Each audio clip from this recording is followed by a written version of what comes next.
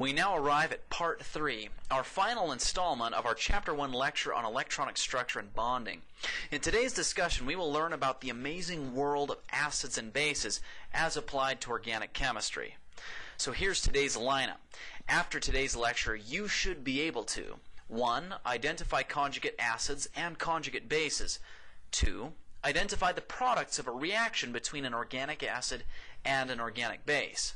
3. Explain what a pKa value is and use pKa values to sort acids by their acidities. 4. Explain how an acid's structure affects its pKa value. And 5. Use pK values to determine which side of an acid-base equilibrium reaction is favored. Although I realize that this isn't a completely accurate definition, technically speaking. I like to keep things simple, dang it. Thus, stated simply, acidity is a measure of how easily a compound gives off an H plus atom. So if I have some kind of compound, and it's attached to a hydrogen atom. If that compound releases the hydrogen atom, we could say that the compound is an acid. Before moving on, I have to remind you of something. Every time you see a bond written as a straight line, such as the one between this hydrogen atom and this compound, it really represents two electrons being shared by two atoms. In this case, between this hydrogen atom and whatever atom it's bonded to in the compound. With that said, here's what occurs in the process of releasing hydrogen. Our compound keeps the two electrons it was formerly sharing with the hydrogen and releases the hydrogen as an H+. In the process, the compound now gets a negative charge. Why? The reason is because the compound kept the two electrons that it was formerly sharing with the hydrogen and released the hydrogen as an H+. Got it? Okay, good. Now the new compound, which has a minus charge where the hydrogen formerly was, is called the conjugate base of this original compound, which we would call an acid. So this compound stuck to the acidic H is an acid, and this compound where a minus charge is taken the place of that acidic H is called that acid's conjugate base. One more detail. Just so you know, we chemists often call H plus atoms just protons, because that's really all they are. So let's take a look at some amazing examples. This molecule, which is called acetic acid, is found in vinegar. When it loses a proton, the acidic proton being this one right here, it forms this product, which is called acetate. Acetate is the conjugate base of acetic acid. Ready for another one?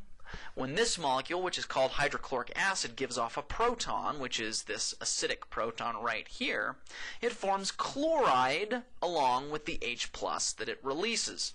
Chloride is the conjugate base of hydrochloric acid. And here's one more. This molecule right here, called sulfuric acid, H2SO4, has an acidic proton at this position. Now, if we want to be really technical, it actually has two acidic protons, but I'm trying to keep it simple. So when this first acidic proton is released, it forms this molecule, hydrogen sulfate, along with H+. Note that what has happened is a minus charge has replaced the hydrogen that originally was found in the acid, sulfuric acid. This molecule, hydrogen sulfate, is the conjugate base of sulfuric acid. So here's the bottom line. If you take an acid and replace its acidic proton, its acidic H, with a minus charge, the resulting compound is called the acid's conjugate base. Similarly, if you take a base and replace its minus charge with a proton or an H, the resulting compound is called that base's conjugate acid. So in other words, if you take the conjugate base and go backwards and replace its minus charge with an H, the resulting acid is the conjugate acid of that base. I hope that makes sense. Now, this seems like a great place to take a break and drink an Aloha pineapple smoothie from Jamba Juice, by which I really mean it's time for us to do another example from our problem set. Here's the question Which of the following is not a conjugate acid base pair? Now, thus far, I've told you that if you replace an acid's acidic proton with a minus charge, you make an acid's conjugate base. But what if you start out with an acid that has a positive charge from the very beginning? Does its conjugate base still end up with a negative charge? Well, if your acid already has a positive charge, then all you do is remove one of its acidic protons, its acidic H, and then you give the compound a neutral charge. The resulting new compound is still that acid's conjugate base. Similarly, I've also told you that if you replace a base's minus charge with an H, then you're going backwards to making its conjugate acid. But what if your base doesn't have a minus charge? What if it starts out being neutral? Well, if your base is neutral, then what you do is you replace one of its lone electron pairs with a proton or an H and give the resulting compound a positive charge. The resulting compound is, of course, the conjugate acid of that base. Now, I realize that everything on this slide might sound pretty dang confusing, so let me illustrate by giving you some examples. Question number one What is the conjugate base of H3O? plus? Question number two. The conjugate acid of H2O is? Now, in order to properly address these two questions, I'm going to actually show some footage from the doc cam. This first question gives us H3O plus hydronium as an acid and asks us to determine the conjugate base. In order to determine a conjugate base, all you do is take your acid, you remove one hydrogen, and you decrease the charge by one. So I'll remove one hydrogen in the formula. It now becomes H2O, and I decrease the overall charge by one. It's now plus one. I subtract one from that. It makes it zero. So H2O is the conjugate base of H3O+. plus. The next question in contrast gives us H2O as a base and asks us to determine its conjugate acid. To do that, all you do is add one hydrogen and increase the charge by one. So it's sort of the exact opposite of determining the conjugate base from an acid. So here's my formula. I add one hydrogen, it becomes H3O, and I increase the overall charge by 1. So it's 0 here, so the overall charge becomes plus 1. So H3O plus, hydronium ion, is the conjugate acid of H2O. So here's the final bottom line.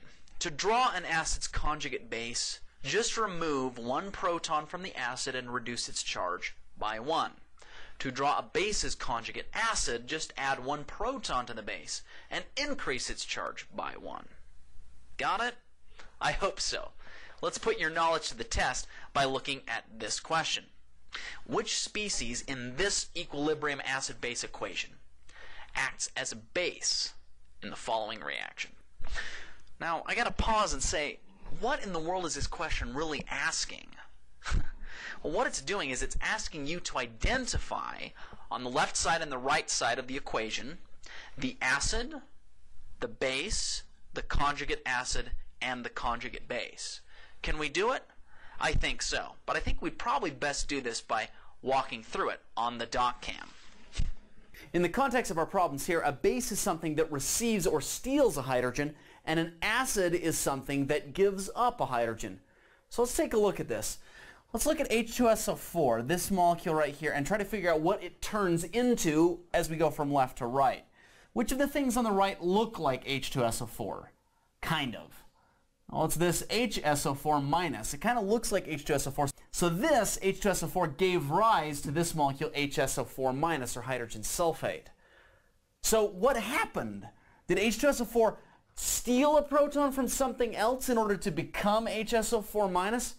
Or did it give up a proton? Remember when I say proton, I'm talking about a hydrogen here.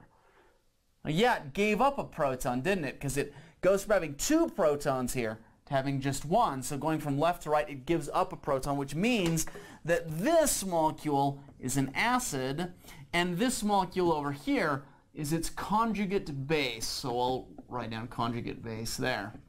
Now let's look at this other molecule right here, HNO3. That happens to be nitric acid. What does it become as we go from left to right? What does it do? Well, the molecule looks kind of like HNO3 is this molecule, H2NO3. Kind of looks like it, except slightly different. So what's the difference? Well, HNO3 received one more proton than it had as it goes from left to right. So here it's only got one, here it's got two. So because it received a proton, this molecule right here is behaving as a base and this molecule right here is its conjugate acid. You can see then that uh, on the left side of any of these acid-base equilibrium equations, there's always something that's an acid, and the other thing has to be the base. And on the right side, there's always a conjugate acid and a conjugate base. The question, of course, asks which of these molecules are behaving like bases, and it's going to be this one right here and this one right here, which I believe are molecules 2 and 4. Whew.